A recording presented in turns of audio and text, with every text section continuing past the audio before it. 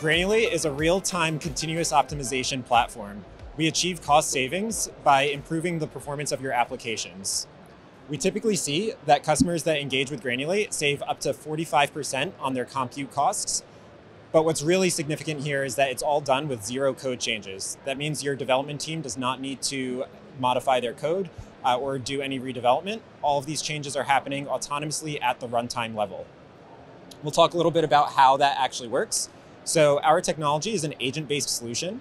Depending on your architecture, we'll deploy an agent into the environment that is installed on each VM or uh, instance within the environment. That agent will do workload discovery, find the application runtimes that are running in, in that environment, and install an appropriate runtime module on each of those running applications. We typically support JVM-based workloads, so Java, Scala, Kotlin, etc., uh, as well as Python and Go.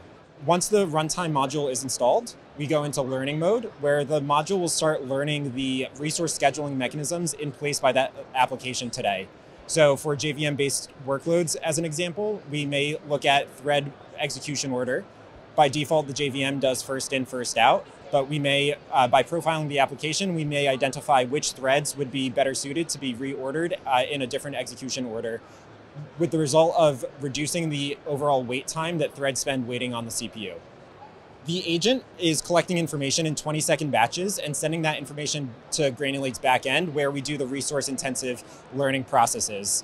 Once learning is complete, we are then able to load the optimal configuration back to the agent. And um, once we activate, you are now realizing the performance optimizations while the agent is uh, making runtime decisions.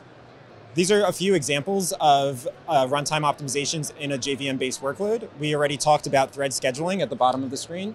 Uh, and maybe one other example here is the crypto and compression optimization. We are able to more finely tune the uh, parameters of compression at the thread level while your developers may be doing it at the process level. So the agent has more granular control over these uh, parameters, reducing the CPU footprint or uh, optimizing when compression uh, is taking place. So to talk a little bit about the process, how do we engage? We start by profiling your application with an open source profiling tool. And this allows us to provide you with an estimate for a given application. What do we expect the optimization potential to be? We may come back to you and say, we believe for this application, we can achieve 23% performance improvement, at which point we would then install the agent, go through that learning process, and uh, activate the optimizations.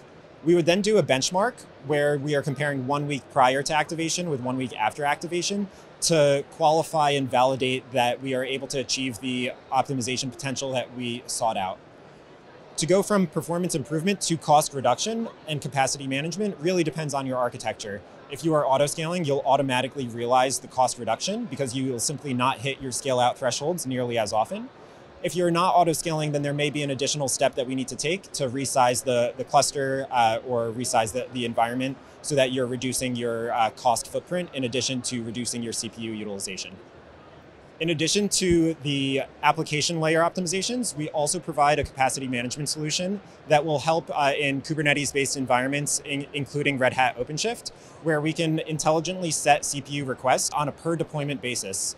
This helps the reduce the over provisioning gap, which further reduces costs. So now we are able to reduce costs both at the application layer as well as the orchestration layer.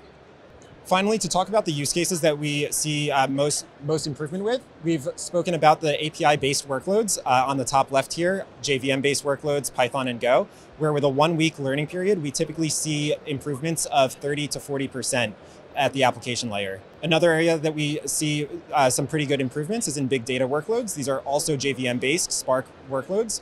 The learning period is a little bit longer, about two weeks, but we are able to return typically 25 to 30% performance improvement and reducing the job completion time of these workloads, which in turn reduces cost. Thank you very much for watching. Please feel free to reach out with any questions.